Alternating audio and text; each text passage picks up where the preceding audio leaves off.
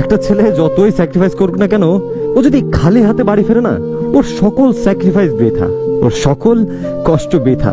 ওই যে চেষ্টাগুলো করছে না, এই সকল চেষ্টা বৃথা। কোনো লাভ নাই, কোনোই লাভ নাই। না ফ্যামিলি বুঝতে চাইবে, না প্রিয় মানুষটা বুঝতে চাইবে, না আশেপাশে মানুষ বুঝতে চাইবে। আসলে দিন শেষে বলতে গেলে ছেলেদের স্যাক্রিফাইসগুলো কখনো না দেখা যায় না। একটা ছেলে তার পরিবারকে ভালো রাখার জন্য, তার প্রিয় মানুষগুলাকে ভালো রাখার জন্য, ভালো একটা জীবন দেওয়ার জন্য, তারা যে প্রতিনিয়ত স্যাক্রিফাইসগুলো করতে থাকে না, এগুলো না কেউই রাখে না। কারণ কোন ছেলেই সেই সব জিনিস তাদের সামনে কখনো তুলে ধরে না।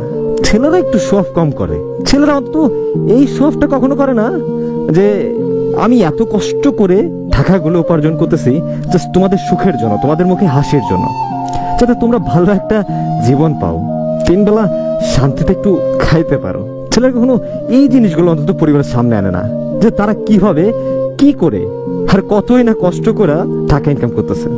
কোনো ছেলেই চায় না যে সারা জীবন সে খারাপ অবস্থায় থাকুক বা তার কাছে টাকা না থাকুক। এমন কোন ছেলে নাই যে ছেলেটা চায় না যে তার পরিবারের মানুষগুলো ভালো থাকুক।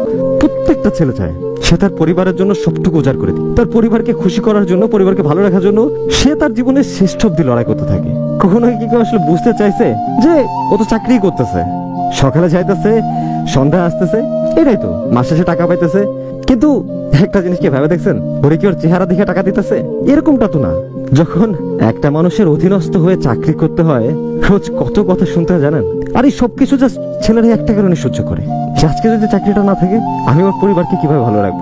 এই যে দায়িত্ববোধ, এই যে তাদের ভালো রাখার এত চিন্তা এই যে তাদের ভালো রাখার জন্য প্রতিনিয়ত এত কষ্ট করে যাওয়া, এত স্যাক্রিফাইস করে যাওয়া, সবকিছুই বৃথা হয়ে যায়, যখন কোনো একটা কারণে যদি চাকরিটা চলে যায়, আপনার নিজের দোষে না।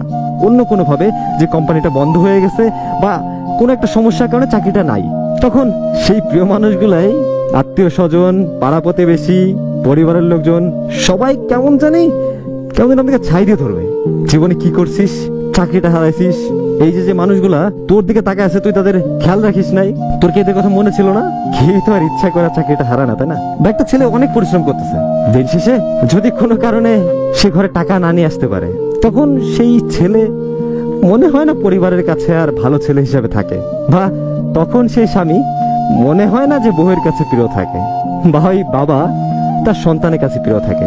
আসলে দিন শেষে বলতে গেলে একটা কথাই বলব, ছেলেদের সাথে না টাকা জিনিসটা অ্যাড করে দেওয়া উচিত। যে ছেলে মানেই টাকা।